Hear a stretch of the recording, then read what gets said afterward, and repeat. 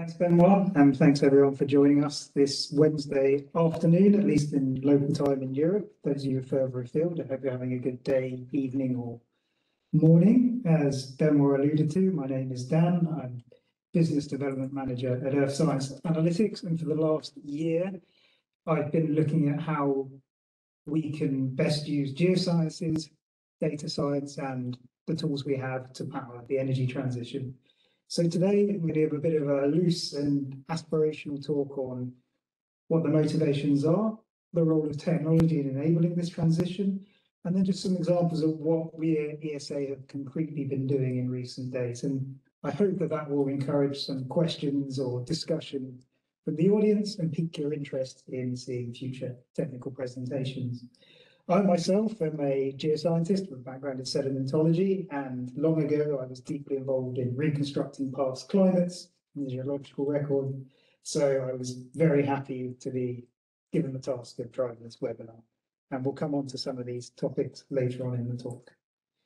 So I think our motivations at this point are obvious. It's been spelled out in big letters in recent days and years that to continue to habit the planet and have the lifestyles we are accustomed to and to be successful as a single planetary species and to a degree a multi-planetary species, we will need to power major transitions in the way we produce, store, consume, and even find and develop sources of energy.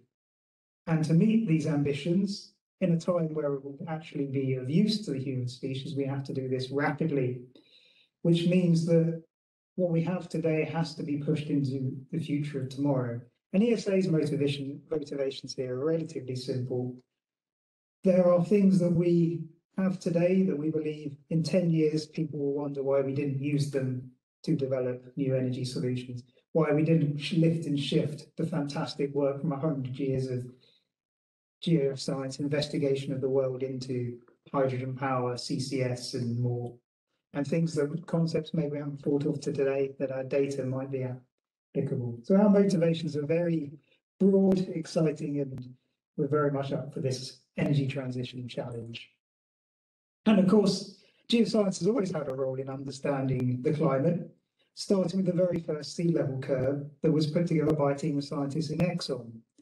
And from there, we, the field of paleoclimate has described and detailed up to 65 million years of geological history of the climate, of, of various uh, parameters from the geological record, even down to the permanence of ice sheets. And this vast amounts of subsurface data was collected for scientific regions, and it is a drop in the ocean compared to what we collect from our exploration, production, and development projects. Case in point, the photo here is actually the only dinosaur fossil ever found in Norway, which was found in a exploration well drilled in, in the Snøhvit site. What you see in the middle of this is a simple fossil of a uh, dinosaur knuckle bone. And this begs the question, of course, what can we do with the data we've collected today? What can we do with the vast trove of subsurface data from sample, from molecular level all the way to huge mega-merge 3D seismic data that can help us solve the challenges of the future? The challenges that this data was not collected to solve, and maybe people wouldn't think to solve with it, but the challenges that need to be solved. And these challenges arrive from the Anthropocene. Now, I'm always pleased to show this slide because the geoscientist of the future is the geoscientist of today in a lot of ways. We are integrated across the world, as this lovely poster from the Geological Society shows. Every touch point of the world economy has a geoscientist somewhere in it. Every touch point of social and ecological responsibility has a geoscientist in it. And I do believe geoscientists in the way we apply the scientific method, the way we are taught, and what we achieve in thinking in long, deep time, 4D data sets, and the way a geoscientist is programmed to a degree is the perfect mindset for solving challenges that today exist and tomorrow will be infinitely more complicated. And I think particularly with the Anthropocene and the understanding we have to get of how the human interaction will change the way we have to think about our systems and the way we have to be more integrated in our approaches from energy to environment to even space exploration. And the geoscientist of the future, the geoscientist of today, will be well placed to enjoy working on the cutting edge of that. So the opportunity really is, is actually very simple. It is to take the expertise of geoscientists, the measured data, particularly in the subsurface case, where we have these troves of subsurface data, connect it with a real challenge, whether it's mapping a CO2 reservoir, improving the foundation placements of wind farms, or simply avoiding geohazards, and integrate those different silos of geological knowledge, of well-collected, well-structured data sets, and of state-of-the-art tools such as the advances in AI being driven by pioneers like Tesla and Facebook and, uh, and Uber to solve large and complex multidimensional problems because the size of the problem will not get smaller. The size of the data will not get smaller. Every year, the pace of the problem and the data will outrun the human's capacity to do it. So we must take advantage of this opportunity to begin scaling it and building out. And the technology can enable this transition by scaling our ability, our speed to complete tasks, and our quality. In the case of this image classification task, today, actually, Eric, our CSO, and myself were doing some work in this project, and in two hours, we had identified the uh, dominant lithology in 20,000 sandstone samples, described and ready, depth registered for the wells to improve the stratigraphic framework. And it had the quality that was approved by expert sedimentologists. It was done rapidly. And yeah, we trained the machine to supplement our abilities as two sedimentologists to handle this vast data set. And what this effectively means is the geoscientist of today, the geoscientist of tomorrow, has a huge advantage over the geoscientist of the past. They have access to tools that will give them a data-driven and independent judgment on what the properties could be in the subsurface. They have the ability to build repeatable, unbiased models that can be run by anyone and tuned to specific parameters. They can, of course, reduce the overheads through reducing redundancies and working on multiple things in parallel. And the great advantage is you can repeat these studies rapidly, quickly, and in different parameters. Instead of filling our, our uncertainty with fixed values, we can fill them with a range of values. We can carry out Monte Carlo simulations within those values to give us a better understanding of the exact risks that are arising, whether it might be seal failure chance for a CCS site, disrupting a salmon farm with fixed and floating wind, or even problems with seabed geometry for, for, um, for cable laying. All of this exists today in disparate data sets, and we believe we can connect it together in the hands of the geoscientist to enable the energy transition. And as the ESA, we call this the digital underground. In the case of what we do now in the subsurface, we like to take a holistic approach to scale any physical sample data to a 3D or to a probabilistic volume to aid decision making. And is it acting in this holistic integrated approach and putting the data at the center, that will be key to any success in the energy transition, as you will see from our upcoming use cases.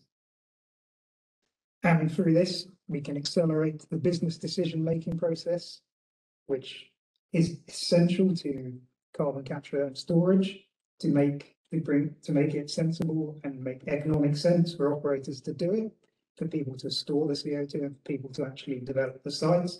There are significant costs that need to come down. There are significant risks that need to be overcome. And the current processes today do not necessarily make economic sense, but they have to make economic sense by tomorrow. So I'm just going to quickly run over a few use cases that ESA have been developing over the last year, focusing on wind, carbon storage, and then something that is a little more out there, which is how we may manage the challenge of critical metals, particularly seafloor mining. Now, offshore wind is well known that these projects are huge capital intensive infrastructure projects, and many of them are leveraged against first power generation. As such, any complications, overruns or delays that will reduce, that will reduce the efficiency or, or miss the deadline of first power generation are catastrophic. And many of these arise from bad understanding or misunderstanding of the subsurface of the geological data of the oceanographic and atmospheric data. Most commonly, it will be simply not seeing a channel or a gully where you want to put your wind farm, underestimating the sediment hardness where you want to put a piling. And as such, you buy the wrong rig, you buy the wrong drill, then you've got a problem when you hit something that is more competent. So all of this can be done much more efficiently through making sure that we have the best possible data in the best possible shape. We have a way to rapidly and repeatedly interpret that data. And then when the wind farm is operational, we have the means to continue to carry out the repeat surveys and the repeat interpretations to ensure that the site is behaving as intended over its entire asset life cycle. And then that can inform future decisions, expansion, repositioning, or even projects elsewhere in the world that may be geologically analogous. And what this practically means is that using machine learning models trained on real synthetic data, we can quickly interpret these subsurface hazards to the wind farm, such as the gullies you can see in the seismic section in 3D. We can integrate geological sample data as alongside cone penetration tests. We can look at cuttings or images of the seafloor or other data sets to extract key parameters. We could even potentially look at core to look at how historically the rocks have behaved. And through that, we can integrate into a better digital twin.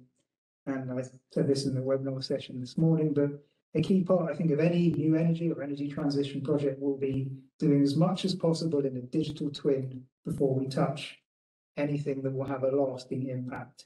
Many of these projects will have life cycles beyond that of the human who has designed them. So it is essential that we find the means to simulate, to quantify and capture those risks that may live beyond the team that today will be running the asset.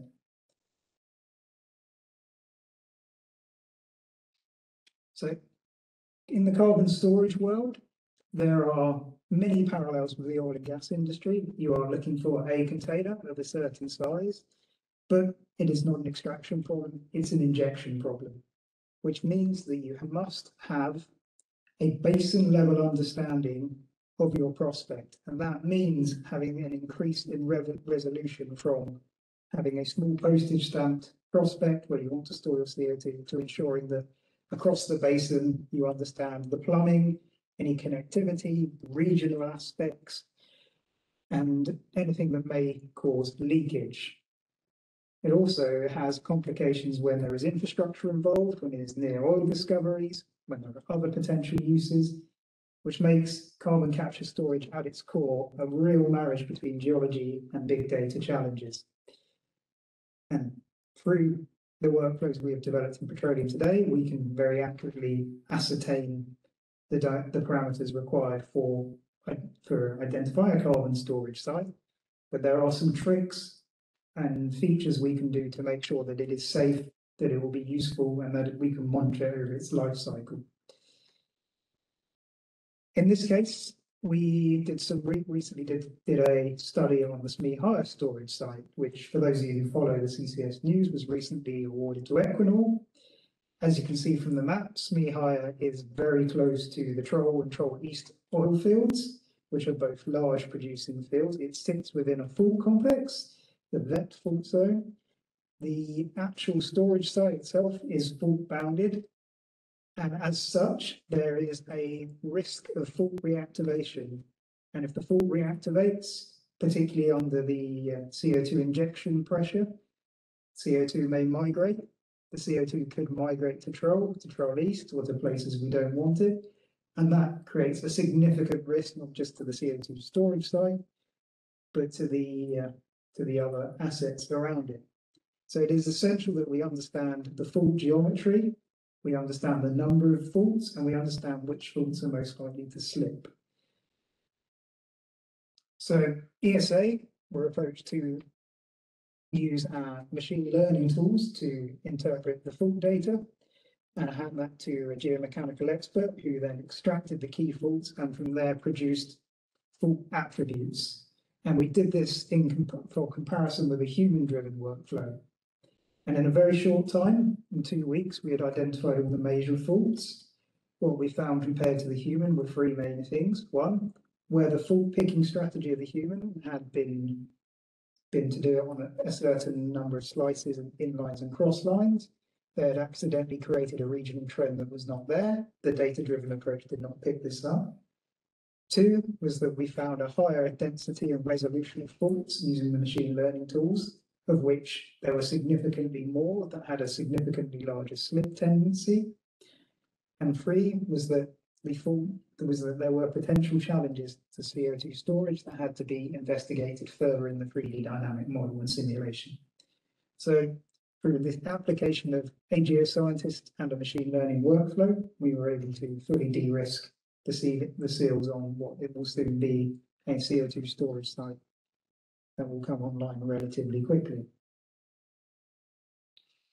And another key tool in the CO2 storage side is, and in general, I believe this also has huge applications for, wind farms, is digitalized cuttings data. Rockwash Geodata are our partner here, and they are leading the way in digitizing cutting data. But effectively, what it means is that we have the ability to identify things from physical samples in areas where we otherwise wouldn't have coverage. Very few intervals are actually cored. Very few intervals of interest to CCS and wind have core coverage but cuttings generally cover 90% of the well. So by creating modern and consistent image data sets and carrying out XRD, XRF and other chemical tests on this, we can populate databases with properties of interest. And in the case of what you see here, Rockwash have been working extensively in the southern North Sea to characterize the intervals for CCS, for the seal, for the reservoir, extracting elastic physical and geomechanical properties that that uh, are of interest to really understand the storage dynamics there.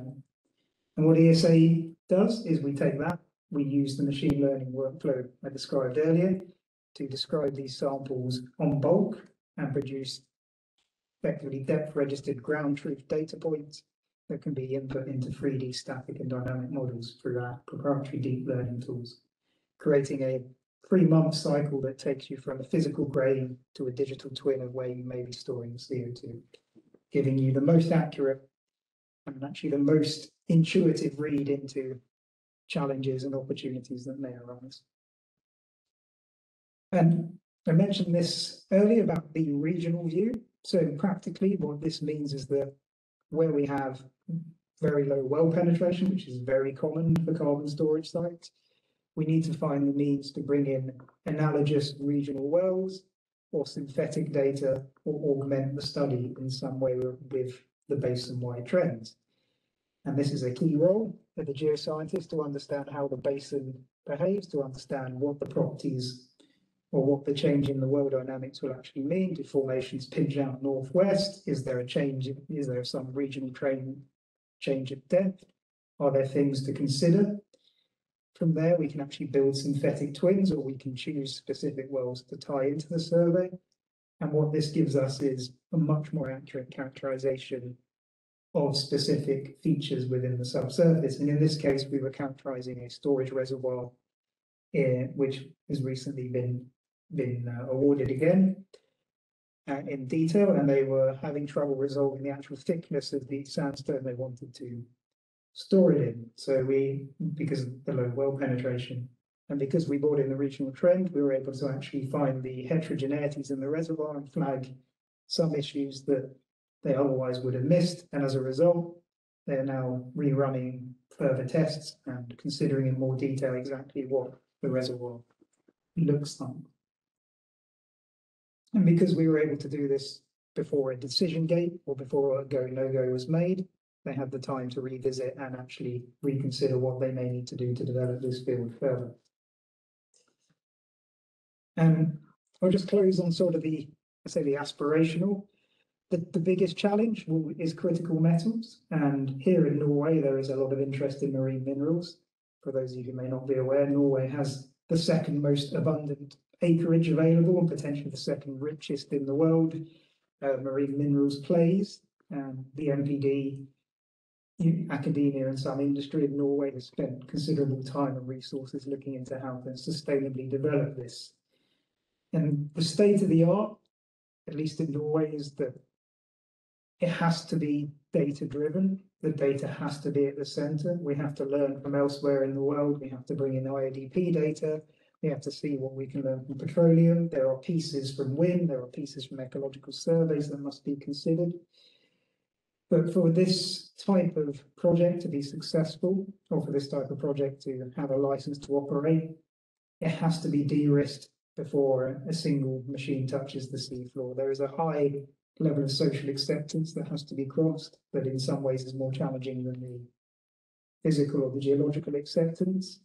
And I think a key part of geoscience and the energy transition will be to marry the objectives or the resource hunger with society's expectations for the protection or the development or the, you know, the pres- preservation of native or na- native environments such as these uh, ridges and smokers. So I can see a lot of applications for geoscientists in, in, in the desk studies in the marine minerals and in oceanographic workflows here. And and in the uh,